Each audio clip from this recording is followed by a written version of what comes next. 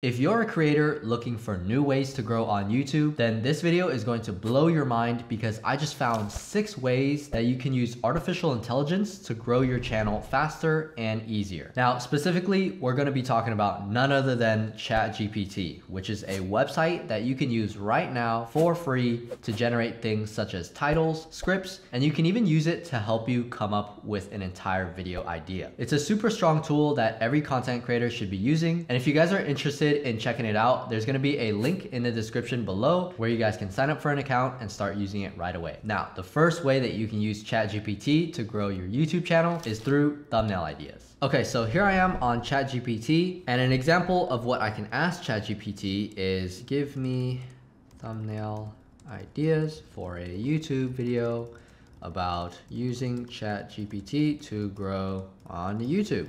And if I type that in, you guys can see that ChatGPT is generating a ton of different ideas right now. And you can see that these aren't thumbnails. So I'm gonna go ahead and give it a more specific prompt. So I'm gonna go ahead and word it in a different way. So I'm gonna say, give me some ideas for a YouTube thumbnail on a video about using ChatGPT to grow on YouTube. Okay, cool. So now you can see that it's actually gonna give us some ideas for thumbnails. It seems like they gave us like ideas for a title. So I just reworded it differently, like give me some ideas for a YouTube thumbnail instead of give me thumbnail ideas. So you can see right here, it says an illustration of a person holding a laptop or a smartphone with a ChatGPT logo in the background, right? So that gives me an idea, right, already off the bat that I could just hold a laptop right here and then on that laptop screen can be the ChatGPT logo. And you can see they gave us a ton of other recommendations right here. So this is just one idea, right? And I just gave it a simple prompt of a YouTube video about using ChatGPT to grow on YouTube. But obviously the more detailed the prompt is, the better ideas that ChatGPT can give you. You're still gonna need to go through and verify that everything in there is good and makes sense because if you just go straight off of this,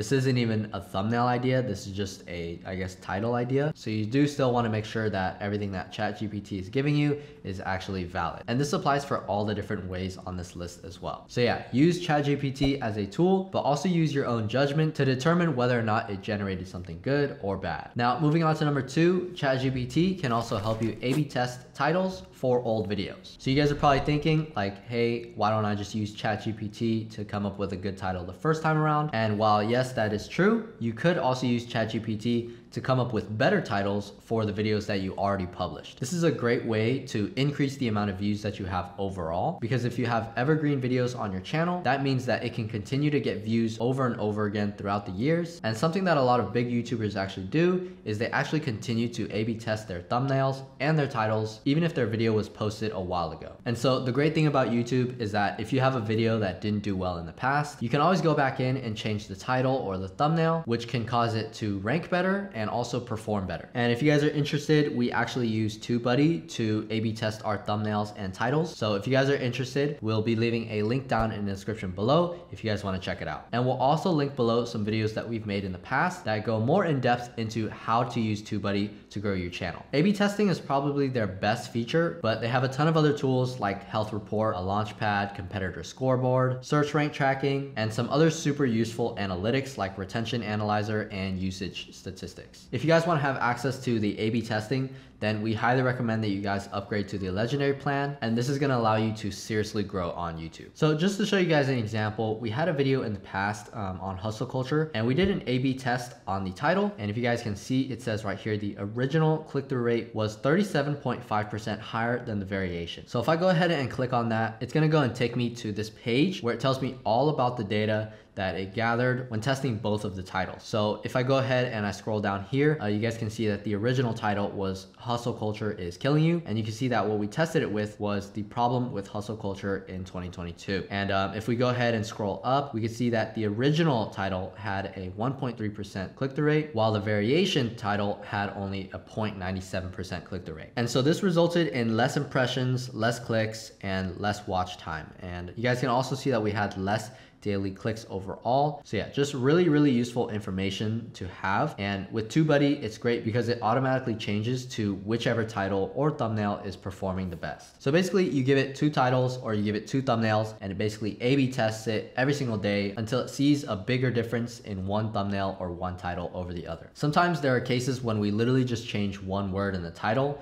and this results in a huge amount of growth in terms of views. So if I want to use ChatGPT to help me come up with a different title for this video, then I can give it, for example, give me 15 different titles for a YouTube video under 50 characters based on a video about how hustle culture is killing you. And you guys can see right here that it's gonna go ahead and spit out a ton of different ideas on the video that we have. And so if I see any of these that I like, I can either use it or the better approach is I could just use all of this as inspiration to come up with a better title. We can even go ahead and take it a step further and ask it to please make it more dramatic. You can see that it's now generating some more ideas, um, except it's trying to make it more dramatic. And I can do this with like any adjective, right? I can make it more funny, I can make it more serious. And if I want, I can even ask it, how would Mr. Beast title the video?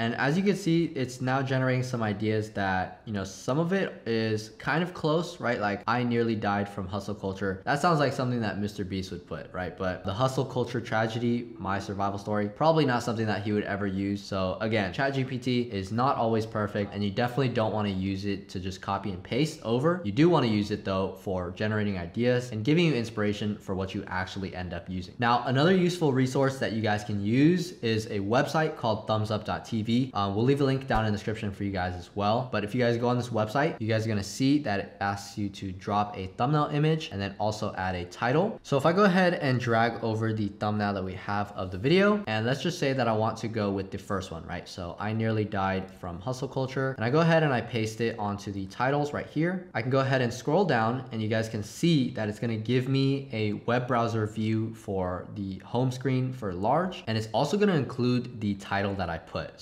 I can see exactly what it looks like for the small thumbnails on the YouTube homepage. This is for the sidebar. So let's say somebody's watching a YouTube video and they see this on the sidebar, you know, what is it gonna look like, right? And if you scroll down even more, it's gonna tell you what it looks like in the history, in the watch later, uh, and it'll even show what it looks like on mobile. So this is a super useful tool to use if you guys want to see how your title and thumbnail looks on all platforms. And it's especially important for mobile because, you know, a lot of people are watching YouTube from a mobile device. And if you guys noticed earlier, I did ask ChatGPT to keep the title under 50 characters. So if I go ahead and just paste this three more times, um, you guys are gonna see that if I scroll down and it's gonna cut it off at about 50 to 70 characters, right? So it depends on which device that you're on, right? So so if you see it as a small thumbnail, then it's gonna cut off a lot earlier than if you were to see it as a large thumbnail. And same thing for the rest, right? So let's say you're on mobile, you're not gonna be able to see the entire title. So it's very important that you guys use this tool and you guys also try to keep your titles under 50 characters because anything longer than that might be cut off for mobile devices. Now, moving on to number three, we have using ChatGPT to help you write scripts and more importantly, help you write intros. All right, so if you wanna grow on YouTube, then there's two things that you have to focus on. One is the click-through rate and two is the average view duration. So this basically means how long you're able to keep the audience watching. And this is also known as retention. And so the very first two things that we went over, right, the thumbnails and and the titles, that's for getting a higher click-through rate. But now that we're focusing on how to retain the person watching the video, the very first thing that you need to focus on is the intro, otherwise known as the first 30 seconds of your video. It's very important and you need a hook that's gonna be able to grab the attention of the viewer and also keep them watching the entire time. Now, where ChatGPT can come into the picture is I can go ahead and ask it, for example, what is a hook that would engage viewers for a video about using ChatGPT to grow on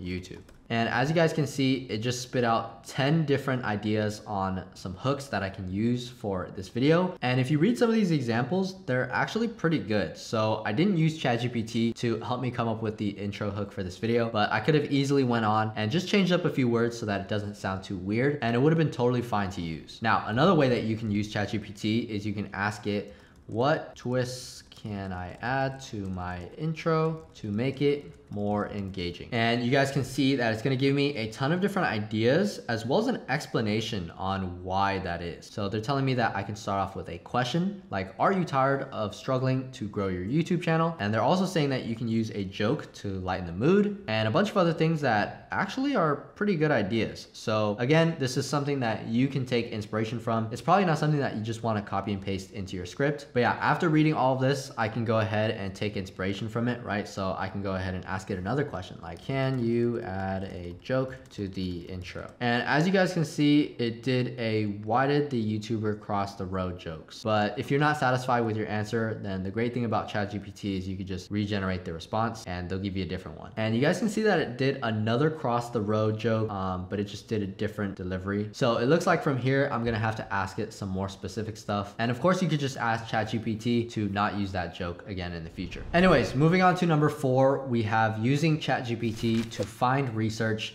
10 times faster. So if you've ever done a YouTube video where you've had to do some research on the script, then you probably know how time consuming that could be. But with ChatGPT, you can literally do research in a matter of minutes to pretty much find data, statistics, stories, explanations, and summaries about pretty much anything that you want. So for example, if your channel is on like entrepreneurship, right? And you want to summarize the book Rich Dad Poor Dad. So what I would do is I would go on ChatGPT and ask it summarize the book Rich Dad Poor Dad. The cool thing about ChatGPT, again, is you can always take it to the next level, right? So if I wanna know something specific from the book, I can even ask it, right? So for example, I can ask, what is the most important thing that Robert Kiyosaki learned from his rich dad? And so something that is very, very specific in the book that I wanna know about, I can easily get from ChatGPT, right? So I've read the book before and I know that there's many sections where Robert Kiyosaki is talking about all the lessons that he's learned. And instead of combing through the entire book and trying to find the exact chapter and the exact quote, I could just ask ChatGPT and it could bring it up within seconds. Another example of bringing specific research into your scripts is, for example, Elon Musk, right? So I can ask it, what famous stories about Elon Musk prove that you can be successful in entrepreneurship as long as you don't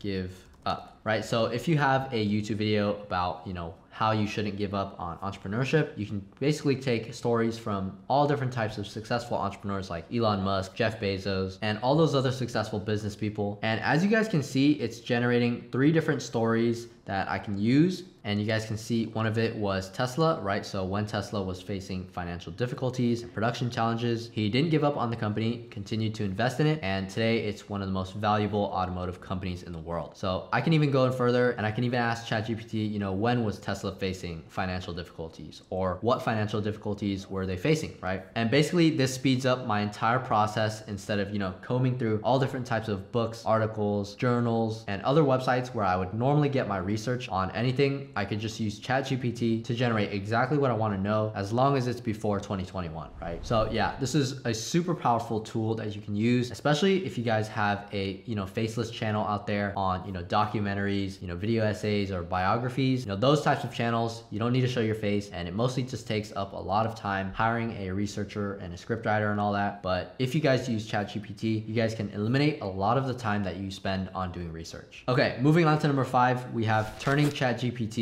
into your target audience. Now, this one's gonna be a fun one because what you're basically gonna do is take all the prompts that we just went over, right? The thumbnails, the titles, the intros, the scripts, all that stuff. And basically what you're gonna wanna do is combine them with ChatGPT, except you're gonna turn ChatGPT into the person that you're trying to target. Now, let's say you have a channel about business, finance, and entrepreneurship. And let's say your target audience is females who are between the age of 18 and 24 years old. And you could basically use ChatGPT and turn them into that person, right? So for example, I'm gonna tell ChatGPT that you are a female between the age of 18 to 24 and you are interested in business, finance, and entrepreneurship. And I can go ahead and ask it, you know, a bunch of different questions like what are your biggest problems that you're trying to solve on YouTube? So it's going to generate a ton of different things that, you know, someone of that demographic would struggle with. And from here, you can ask it an unlimited amount of questions to keep on trying out new ideas for your target audience, right? So I can even ask it what kinds of videos would she click on for her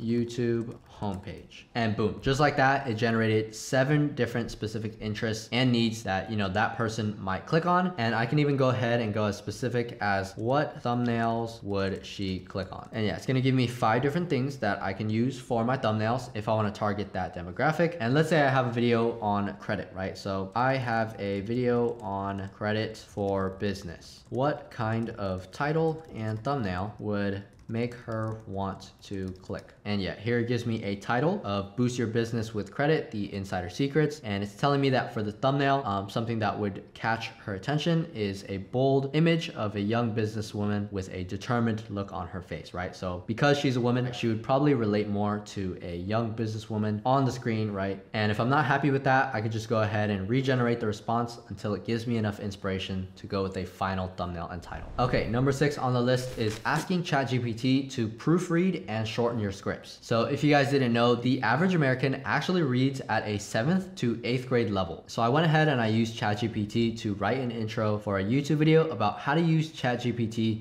to grow your YouTube channel in 2023, right? So it went ahead and it generated a ton of text for my intro. And right here it says, with so many creators vying for attention on YouTube, it's more important than ever to have a unique and effective strategy. So most people probably don't know what vying means, and it's just an unnecessary word that's super complex, right? So sometimes ChatGPT will generate words like this, where it's just super complex and unnecessary and makes it really hard for the audience to understand. And sometimes even when you're writing your own script and you're not using ChatGPT, you could accidentally include some words or some sentences that don't really add to the video and just make it really boring. So something that you can use ChatGPT for is to just shorten everything that you write in your script. Because if you're able to convey your point to the audience in the least amount of words possible, it's gonna result in higher engagement, higher retention, and therefore more views. So yeah, as you guys saw, there were plenty of mistakes that ChatGPT made in this video, which is why you still need to check everything and make sure that the quality is good. And just remember that ChatGPT is a tool that you can use to generate ideas and to use it as inspiration rather than using it as something that you could just copy and paste from. Now, this also means that you still need to learn how the YouTube game works and how the algorithm is affected by things like click-through rate, SEO, as well as what makes a good video idea, title, thumbnail, and all that stuff. Without all of that basic YouTube knowledge, you won't know what questions to ask to get the best results. And even if you did, you wouldn't know whether or not what it's giving you is good or bad. And that's where we come in. If you're interested in learning more about the YouTube algorithm and how you can increase the amount of views and subscribers that you get, you can check out the entire playlist that we have on the channel that will teach you how to grow your YouTube channel. Anyways, that's it for today's video. If you guys enjoyed it, make sure to leave a like and subscribe for more videos like this. StartupWise pushes out a ton of tutorials and how-to guides every single week for you guys. And yeah, we're dedicated to helping out new entrepreneurs and content creators like yourself that want to get started. Again, all the websites that we use are going to be linked down in the description below.